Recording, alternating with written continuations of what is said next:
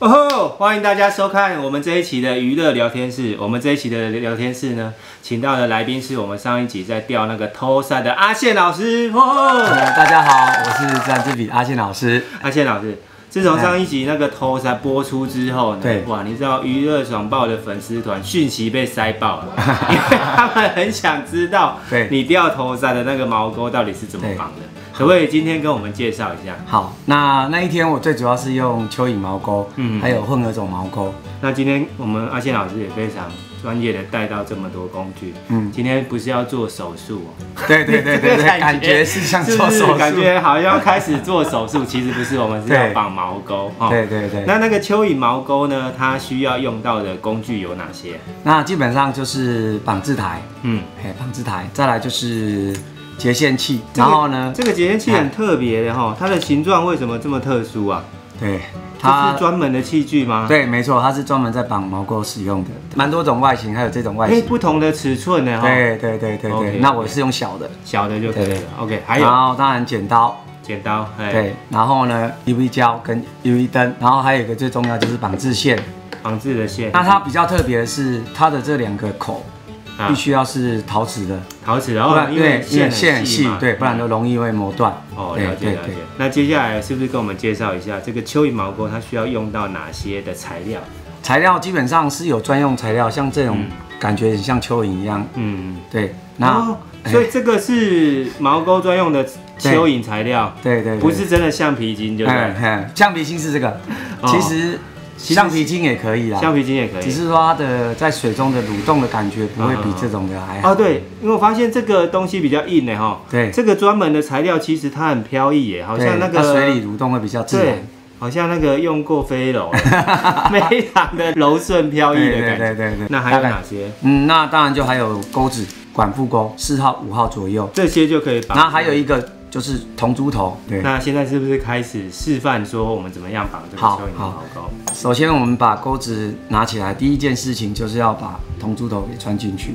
穿过去之后，就把它固定在我们这个绑线。器上面，对，固定好之后，就拿起我们的这个嗯，绕绕线器，对，绕线器看，先绕绕个几圈，先让线固定，然后就把尾巴剪断。那因为它要铜猪头会滑动，所以我会稍微让这里多绕几圈。对多绕几圈。那后面当然也要绕，因为因为让钩子上面有一点点线的话，它比较有阻力。嗯，那到时候在绑的时候，它不容易滑来滑去。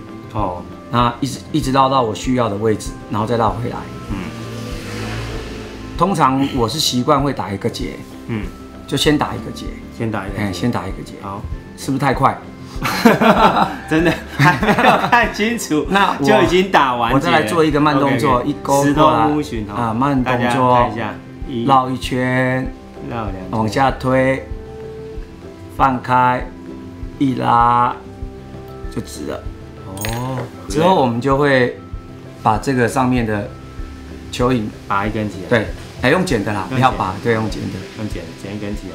对。这个像我们刚刚介绍的这几种材料，包含蚯蚓的身体，这个都是一般外面买得到的吗？其实这种东西，你只要到外面找到类似的都可以来用。哦，对，如果你哎，如果你真的没有，你用橡皮筋，也可以，哎，对因为我就发现这个东西很像圣诞节那个啊，对对对对对，圣诞节，或者是我们在买买礼物有没有？不是会外面绑一圈那个，嗯，那个铁丝其实有点像。其实芒果绑制最有趣，就是你自己可以去找到生活中可以用的一些材料。在绑的时候，大概从铜柱头的位置，嗯，对，铜珠头位大概留个大概两到三公分，然后先绕一圈。绕的时候不可以太用力，因为它很软嘛。哦，对，它非常的软。如果你太用力的话，会被这个线给割断。嗯。绕个两圈之后，绕下方，不要绕在上面，嗯，绕下方，绕下方。对，然后刚刚上面绕的那两圈，只是让这个蚯蚓的对稍微本体先固定一下，对，啊，嗯。然后我们换个方向，嗯。再绕，对，让它本体稍微固定一下，嗯。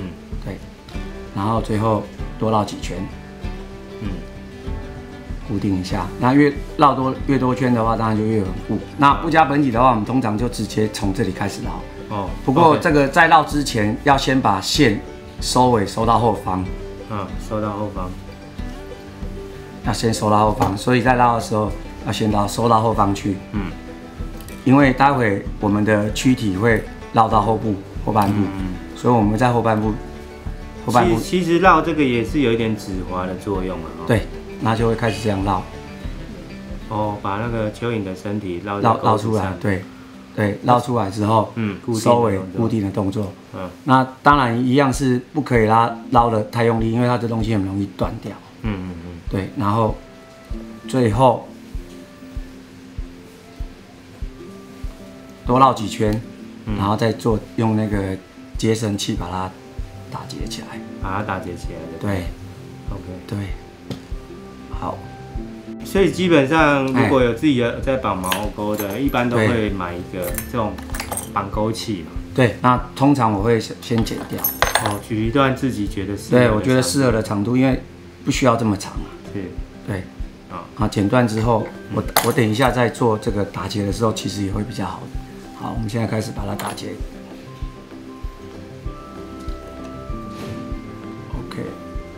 结的地方也是打在后面的地方。对，要打在后面的地方。好，多打一次，再打一次。嗯。那打完之后，我会通常会上 EV 胶，嗯。因为 EV 胶如果没上的话，嗯，它的这个坚固度不够，对。打两个结之后，对，你要打三个当然可以。然后呢，转过来，嗯。那我的 EV 胶在这里，嗯，我会在打结的部分上胶。其实 EV 胶除了固定之外，它有没有其他的功用？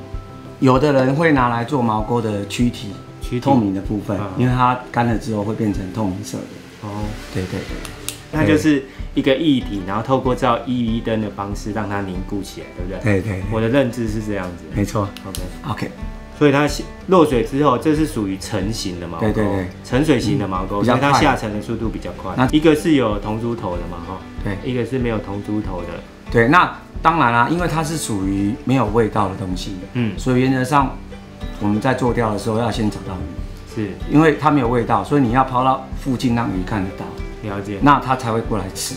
今天我们应该不止介绍一种吧？没错，对介绍完那个没有变化的蚯蚓毛钩之后，我们介绍一个变化型的毛钩。，对，就在躯体上面加加一些装饰，让它更明显。所以前半段那个铜珠头固定那个是一样。，对，都是一样的步骤。那这个刚刚是用蚯蚓去绕圈圈，对不对？那现在不需要了，那现在是要直接轻轻的往后绕就可以了。对，因为我们现在要加躯体，所以我让它轻轻的往后绕，不要把它的这个绕断掉了。要做一件事情，就是要把加强它的躯体的部分，所以我们先拉出来一小段，是，然后一样先把它固定上去，然后呢，好了之后嗯，大概剪个一需要的，因为剪掉一需要的长度，对，嗯，然后开始绕身体。开始这样，对，我们就就把它的身体呢嗯。绕到前方去，嗯，然后还要再绕回来。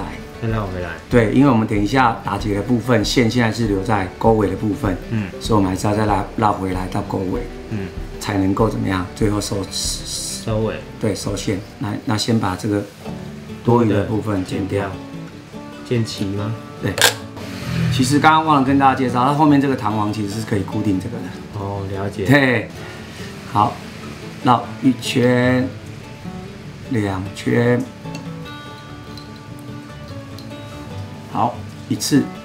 哎我发现是发觉这个结是半扣，对不对？对对对，其就是实有人，的死结啊，其实对，其实有人会用这样子手的方式去。用手的方式。对所以这个对辅助工具只是让你更容易打结。对因为有你的位置比较小嘛，对不对？你的位置比较好控制，因为这个算大型的毛钩，有的毛钩很小，你一定要用打这个。对对，这样就完成了嘛。对，那当然还是要上一点鱼皮胶，因为怕线头地方会松掉了解。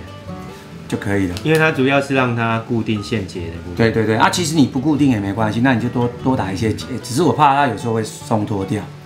是，对，很明显跟我们刚刚对，对是不一样不一样，变化型。对，你看它身体更，而且它身体的躯体部分会有一点反射亮光，嗯，对，那可能也会吸引鱼的注注意。对，了解。嗯那今天非常感谢我们阿仙老师呢，来节目里面跟我们介绍上次钓那个大头鲨的毛钩。对，那有机会的话，我们再请阿仙老师来多上几次节目。节目的最后呢，我们就跟喜欢钓鱼的朋友打个招呼。好，OK，娱乐爽爆。送啊！